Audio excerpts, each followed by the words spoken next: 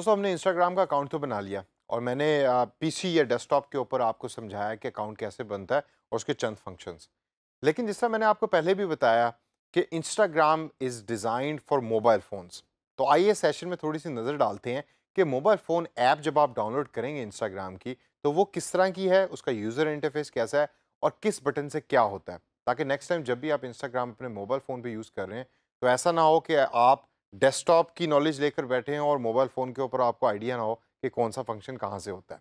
तो सबसे पहले तो अपने मोबाइल फ़ोन के ऊपर डाउनलोड करें ऐप अगर आपके पास एंड्रॉयड का फ़ोन है तो आप एंड्रॉयड प्ले स्टोर से इंस्टाग्राम की ऐप को डाउनलोड करें। अगर आपके पास आईफोन है तो आप एप्पल के आई स्टोर से इंस्टाग्राम की ऐप को डाउनलोड करें।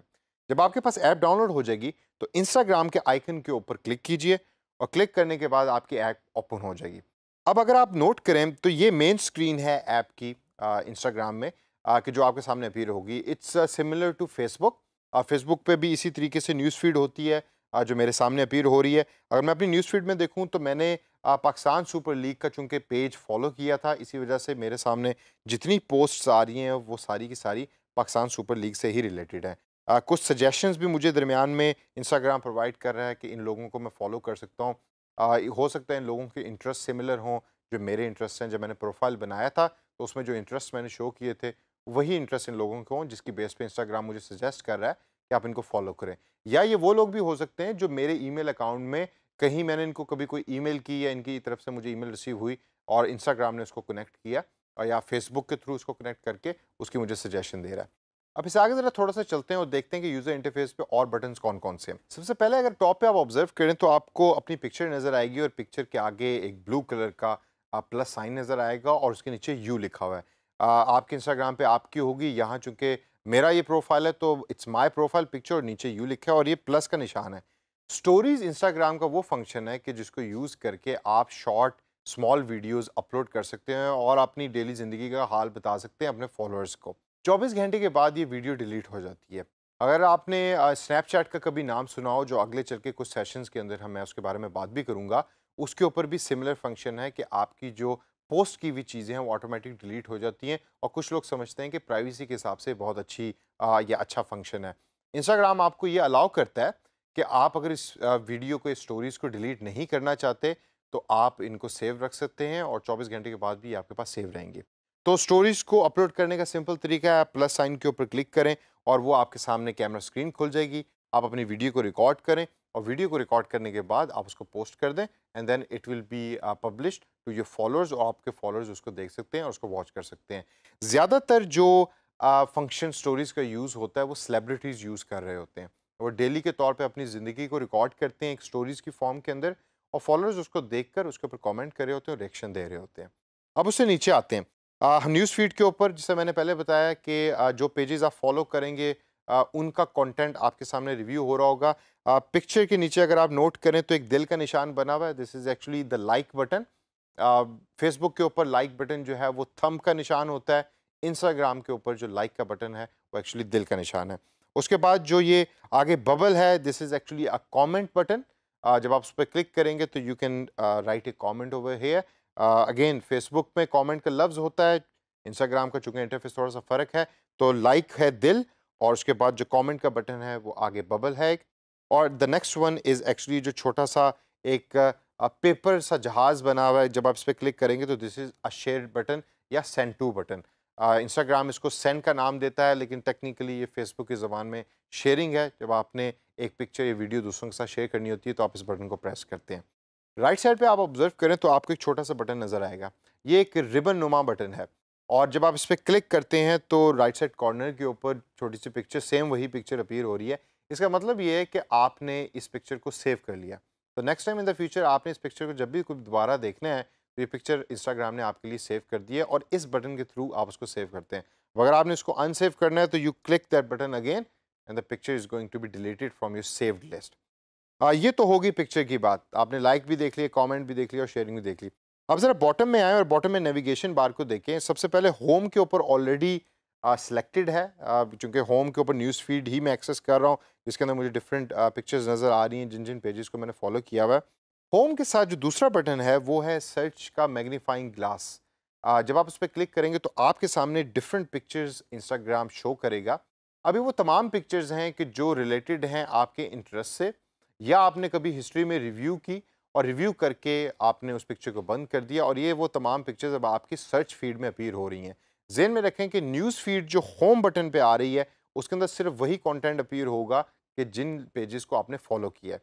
लेकिन सर्च फ़ीड में वो तमाम कंटेंट अपीयर हो रहा होगा जो आपके इंटरेस्ट से मैच होता है।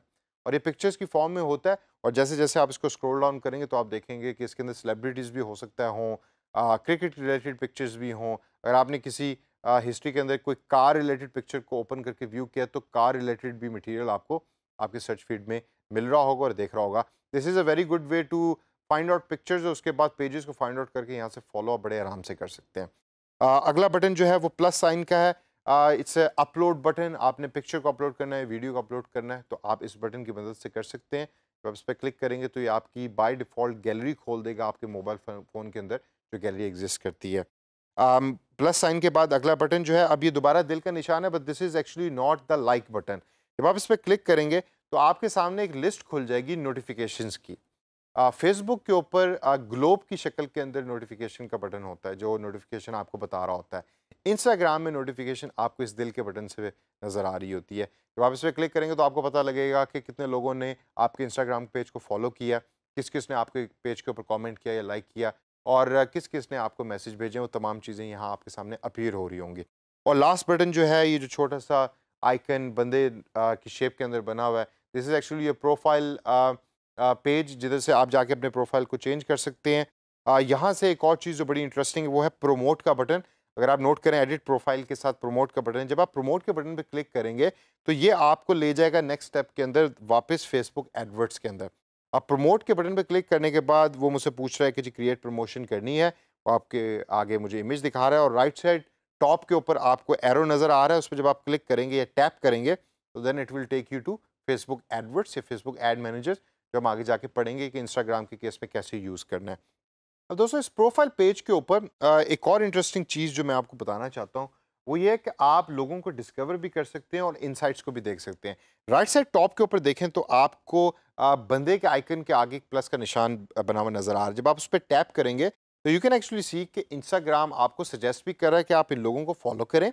फेसबुक के थ्रू जो आपके फेसबुक के कॉन्टैक्ट्स हैं, उनको भी आप फाइंड आउट कर सकते हैं। या आपके मोबाइल फ़ोन के अंदर जो कॉन्टैक्ट्स हैं उसमें से कौन कौन लोग इंस्टाग्राम यूज़ कर रहे हैं उनके प्रोफ़ाइल भी आपके सामने अपीयर हो रहे होंगे और वो भी आप उसको फॉलो कर सकते हैं। अब इसमें क्वेश्चन मेरा आपसे ये बनता है कि फेसबुक का तो चलो समझ आ गई कि कैसे इंस्टाग्राम को पता लगा कि कौन कौन से लोग इंस्टाग्राम यूज़ कर रहे हैं फेसबुक के दोस्तों में से।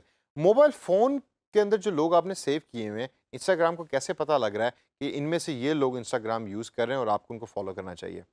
इंस्टाग्राम एक फ़ंक्शन आपसे हमेशा स्टार्ट में पूछता है प्रोफ़ाइल बनाते हुए और फेसबुक भी पूछता है कि आपने अपना मोबाइल फ़ोन नंबर ऐड करना है? और जब आप अपना मोबाइल फ़ोन नंबर ऐड करते हैं तो वो डाटा फेसबुक के अंदर स्टोर हो जाता है जिसकी बेस के ऊपर फेसबुक आपको आगे जाके सजेशंस देता है कि ये लोग भी इंस्टाग्राम को यूज़ करें hence you should follow them इसके बाद इसके साथ इस आइकन के साथ दूसरा आइकन है इनसाइट्स का। वो तमाम डाटा जो आपके प्रोफ़ाइल से रिलेटेड है वो इस आइकन के थ्रू आप एक्सेस कर सकते हैं।